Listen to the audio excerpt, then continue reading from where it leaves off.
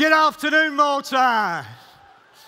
It's great to be here. And this afternoon, I'm going to talk. I'm going to change the subject, if that's okay. Going to change it to position yourself for digital success.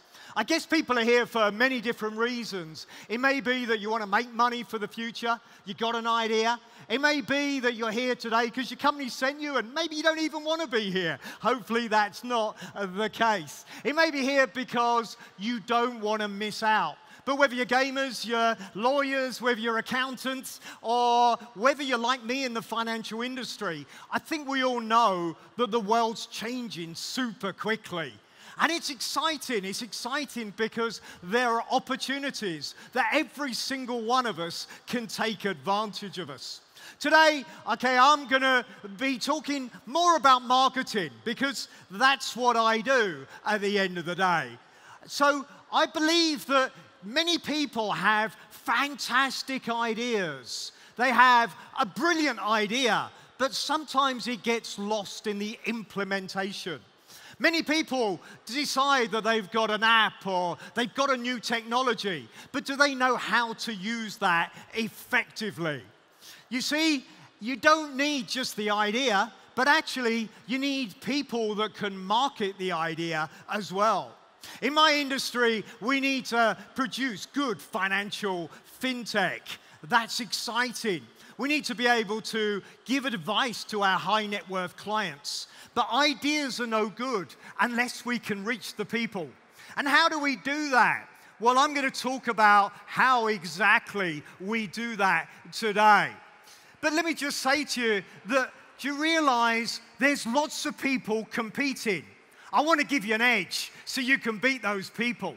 There are 4 million current apps available in the App Store and Google Play. Okay, I don't know if you know the numbers like I've looked at them, but there are 6,000 new apps every day. And people go, I've got an idea. And you know, sometimes the shame of it is that it's a fantastic idea. But an idea, of course, on its own is not enough. We know that fewer than 0.01% will actually make money financially. Okay, so how do we take advantage? Because there is a massive opportunity over the next 10 years. I definitely don't want to depress you.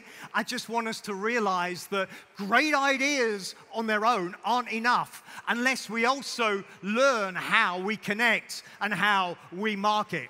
I believe the world will change more in the next 10 years than it has in the last 100 years.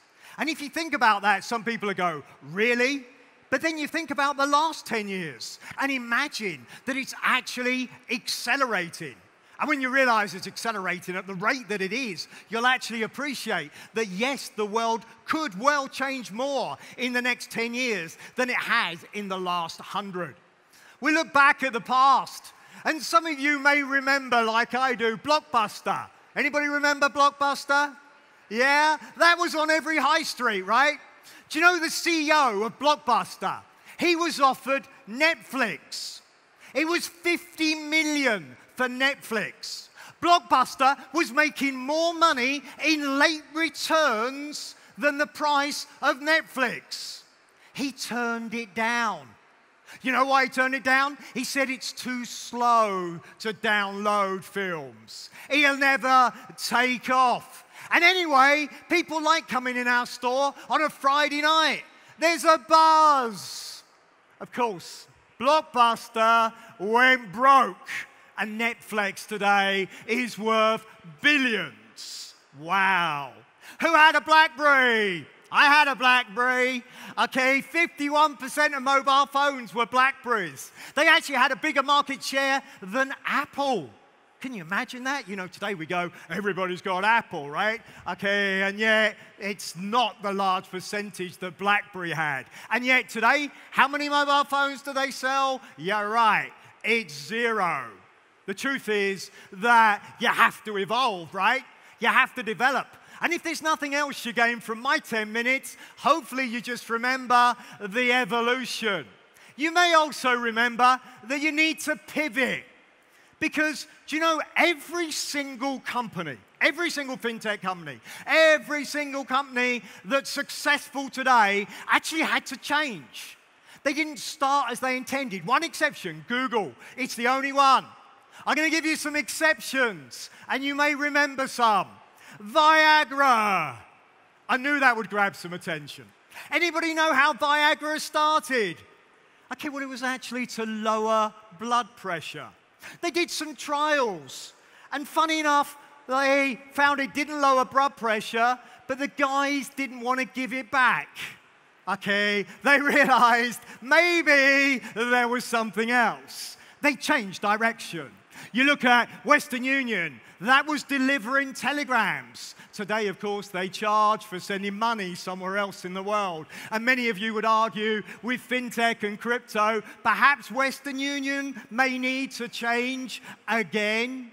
You look at the past and you look at Twitter, it was actually started for podcasts weren't successful then, but maybe Twitter would have been for podcasts today. Maybe the wrong time. But they pivoted, they changed. And apart from Donald Trump using Twitter, uh, that's not a good thing, not for the financial industry anyway, but it's certainly a useful platform. And YouTube, do you know how YouTube started? It was actually a dating site.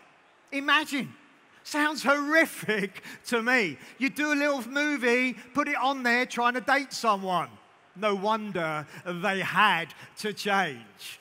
I would argue that you all need to look at success, whoever you are in the room, because all of us need to take advantage of the next 10 years. For myself, I looked at digital currencies and I believe that ultimately digital currencies would be successful. So I started an app called Crypto, Devere Crypto. And I was shocked to realize that I needed to have an influencer that would suggest my product to other people. John McAfee, there's a name for you, right? He wanted 120,000 for a tweet. And there were other guys charging $20,000 just to put you on their newsletter. Okay, well, I realized in order to be successful in fintech, I either had to employ people that were going to be able to get what I believe are great products out to the marketplace, or I myself was going to have to be an influencer. And I've been working at it for 12 months. So I want to share that briefly with you.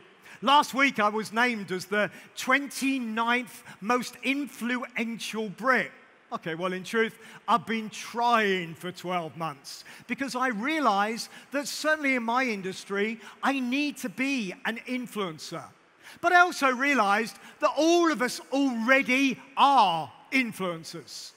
You think about your children, you're an influencer, right? They're teachers, whether you like it or not. They're influencers too. So actually, we're all influencers, whether we like it or not, in our world.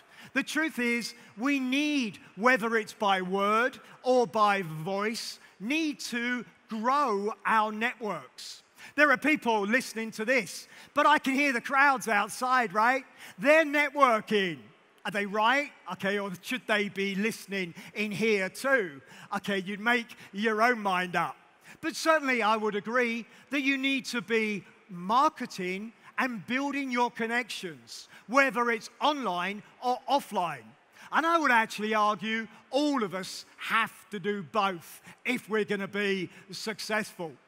There are many platforms. You look at Facebook, in fairness, people actually don't realize that a lot of successful people are on Facebook. Okay, I actually know from my own clientele, we've got a lot of people in the banking industry who use Devere services. Very high net worth individuals. They're actually not on LinkedIn, surprisingly. They don't want to be networked. They don't want a job. They want to be headhunted, if anything, but they're on Facebook because they're in a cycling club or something similar. Don't miss the opportunity for your company and perhaps yourself to use those mediums. We look at LinkedIn. There are now 600 million people on LinkedIn. Okay, just imagine if you reach 30,000 contacts like I have now by working at it, if you send out a message, you're hitting 30,000. If they've got 10 contacts each, that's 300,000. And if they've got 100 each, that's 3 million. Okay, don't forget your connections. Remember, it's good content, good content, good content, hook with your services. And that's what everybody should be doing. Good content, good content, add value, add value to people, give to people, and then show them something that perhaps could benefit from your services. Apply it, it makes a difference. We look indeed at YouTube, and today YouTube is growing faster than Google searches. So I'm looking at YouTube and saying, wow, the growth on that could be that people search more on YouTube than they do on Google. Okay, you say you're joking. No, think about it. When you buy a new appliance, do you go and take that new appliance and go to Google when you want to work it out? You don't, right? You actually go to YouTube and you want someone explaining it. I actually believe that all of us need to be aware of that and can take advantage of it. I would be amiss as a marketing guy, at least partially a marketing guy, if I didn't mention our own products. We have Catalyst, which is a low cost savings app. We also have, as a company, a range of apps that we use. Okay, I also, of course, are on YouTube myself, and you're welcome to follow.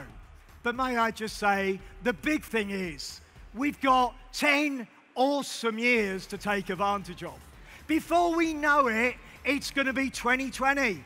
We've got 10 weeks to go, working weeks. That's five days a week, that's 50 days, and then it's 2020. Okay, when it gets to the end of 2020, are you going to be ready for 2030? Hopefully, some of the ideas I've shared with you will be of benefit, and you're welcome to message me and, of course, link up.